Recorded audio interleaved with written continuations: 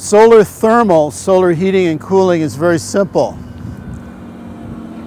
Solar is simple. It's almost black and white. It's a little bit more complicated than black and white, but not quite. Dark gets hot, right? So you're wearing a black raincoat. It's going to get hot in the sun, all right? Somebody wears a white shirt, they're not going to get as hot. So dark gets hot, light reflects, foil, silver, all that stuff reflects better. Okay? The last thing, which makes it more complex, is clear. Clear keeps the wind out. All right? So the simplest thing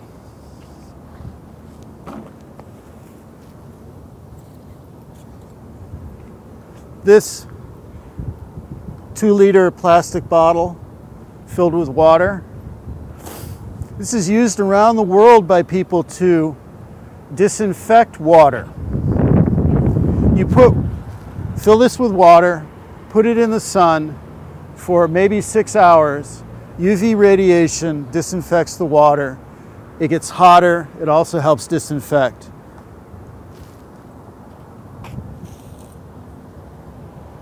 So this one will be marginally hotter, but it'll, it'll get less UV. So it's not so good for disinfecting the water, but it's good for getting hot water, hotter water. So again, light reflects, dark gets hot. This is a, uh, a planting device that I made from, again, recycled materials. And you fill these with water face this towards the south. You put a plant in here and you can plant six weeks, a month earlier. So I've put out tomato seedlings a week or so ago in those things and that'll survive and go. This is a collapsible water jug. I used recycled dark plastic mailers and this will get hot it's a cheap version of this. All right, you fill it up with water, you hang it from a tree, you get a hot shower. Same kind of thing. This is uh, close, about 135 degrees right now. All right? Garbage, garbage, garbage. Right? This is a snack food bag, potato chip bag, popcorn bag, inside aluminized mylar. Reflective material. Let's see if I can open this up. A dark pot. Clear keeps the wind out.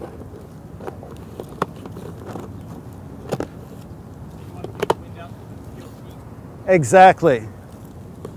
And as I say, this is about 135 degrees from garbage.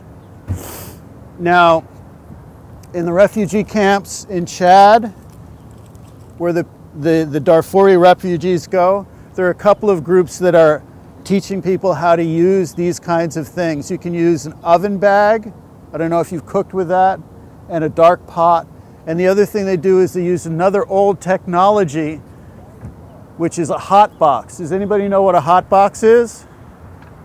A hot box is an old, old technology, probably goes back to the Middle Ages. And all it is, is an insulated box. What they used to do is they would take a stone, put it in the fire, get the stone hot, take the stone, and then put it in the hot box, put a pot inside that, cover the hot box. It's an insulated box. You got a heat source from the hot stone, and you have a slow cooker. That's how they used to do crock pots before electricity. So this is what they're doing in the refugee camps. They heat the food up in the hot in the in the dark pot. Then they put it in an insulated bag and they let it cook slowly that way. This is another cooker. And this one this one just won an award $75,000. And again, chip bag. It's a plastic, uh, a, a cardboard box with another cardboard box inside. And again, black plastic. Right? And I'm using uh, the popcorn pellets, the packing pellets, for insulation. So it's an insulated box, reflectors, dark and clear. All right. And inside there, that's about 125 degrees right now. All right.